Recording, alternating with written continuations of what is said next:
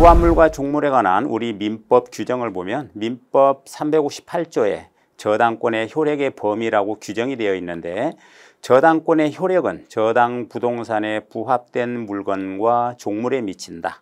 그러나 법률의 특별한 규정 또는 설정 행위에 다른 약정이 있으면 그렇지 않다라고 규정이 되어 있습니다. 저당 부동산에 부합된 물건 종물에 효력이 미치지만 은 근저당 설정 계약이나 또는 법률에 다른 내용이 있으면 은 저당권의 효력이 미치지 않는다라는 그런 내용입니다.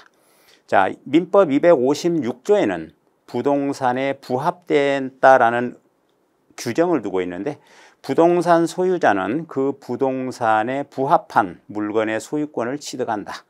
그렇지만 그 부합물이 다른 사람의 권리에 의해서 부속된 것은 소유권을 취득하지 않는다라고 규정이 되어 있습니다.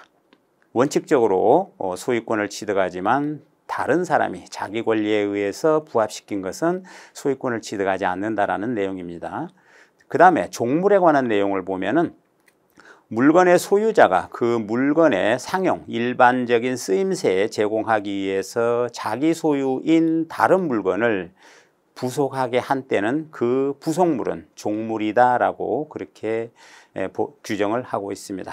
종물은 주분의 주물의 처분에 따릅니다. 따라서 부동산에 설정된 저당권의 효력이 종된 물건에도 미친다라고 그렇게 해석을 하고 있습니다.